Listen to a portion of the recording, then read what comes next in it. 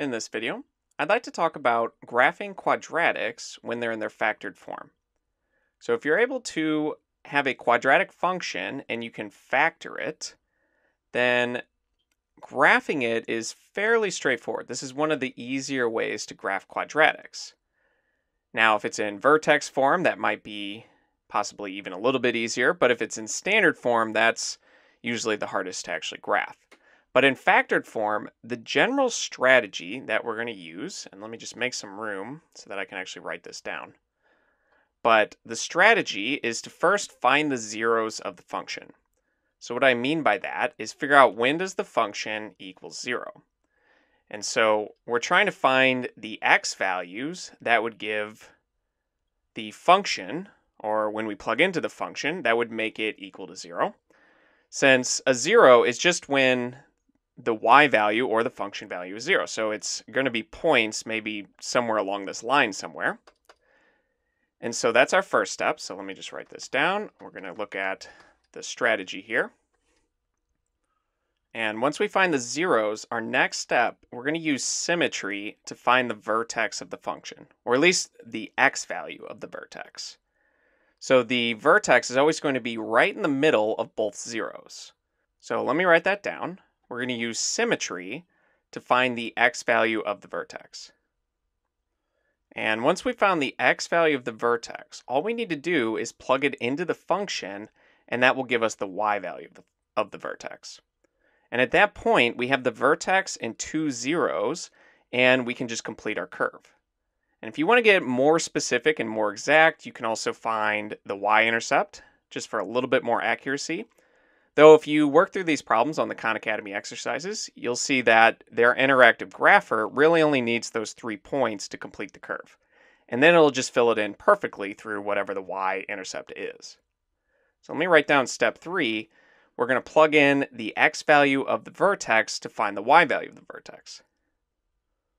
So again, once you plug in this x value to the function, it's just going to give you the y value of that vertex, and then you can plot that coordinate point. So with the strategy in mind, let's start applying it to this function. So let me just make a little bit more room. I'm going to remove this, so you might want to write that down.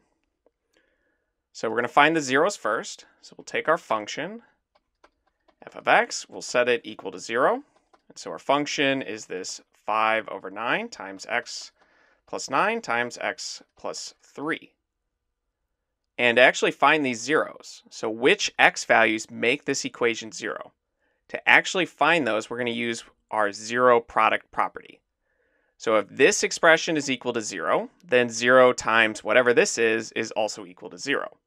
Likewise, if this second expression, the x plus 3, if we put in negative 3 here, then we'll get 0 here times by 6 times by this, but 0 times anything is 0. So the two x values that are going to work for us is negative 3 in this one. And if we plug in negative 9 here, it will make this first expression in parentheses equal to 0.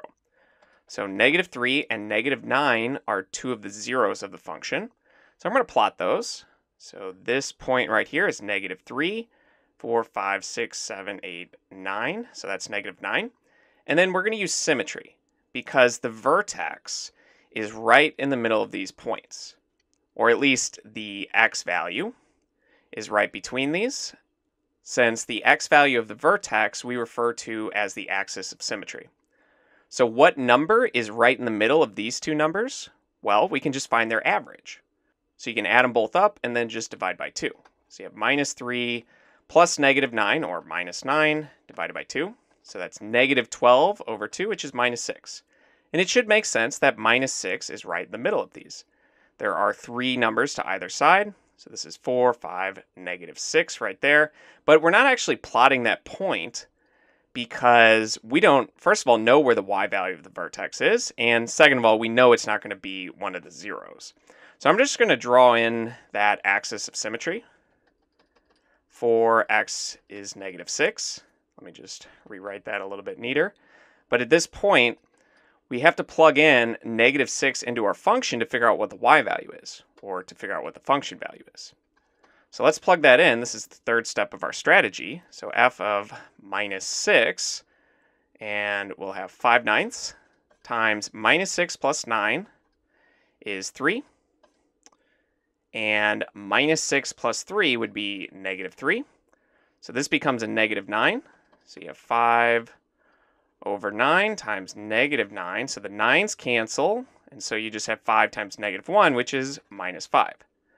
So our vertex, what we just found here, all right, v for vertex, has an x value of minus 6 and a y value of minus 5. So let's graph that point. So this is the x value of minus 6. So we go 1, 2, 3, 4, 5. So somewhere around there. And at this point, we can just connect the curve. Like I said, if you want, you can also find this y-intercept here. Though if you're using the interactive grapher, this is all you'd need. So you would be done at this point. But to find the y-intercept, that's just, remember, when x is 0.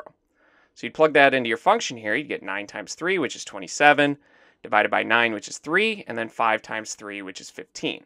So maybe somewhere up there.